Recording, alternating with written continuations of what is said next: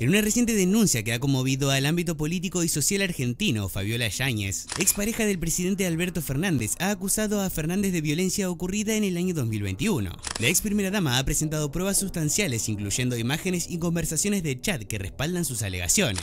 La denuncia ha desatado una oleada de críticas contra el exmandatario, quien ha enfrentado un creciente rechazo público. Entre las figuras que se han pronunciado al respecto destaca Coscu, quien ha emitido una declaración en lo que expresó su desaprobación hacia Fernández, luego de que en 2019 haya manifestado su apoyo al entonces presidente al inicio de su mandato. Nunca hice ni haré campaña para un presidente, pero sí di mi apoyo y tuve fe en un viejo nefasto. Pido disculpas a todos mis seguidores por eso. Nunca acepté un sobre ni aceptaré, y miren que me ofrecieron de todos los partidos. Jamás voy a transar con estas basuras, se nos cagan de risa en la cara. Luego le respondió un usuario donde dijo ¿dónde te metes ahora? Tuve fe en un presidente, fue un desastre y estoy pidiendo disculpas. La situación sigue desarrollándose y el caso ha generado un intenso debate en los medios de comunicación y en las redes sociales, planteando serias interrogantes sobre la conducta del expresidente y las implicancias de las acusaciones.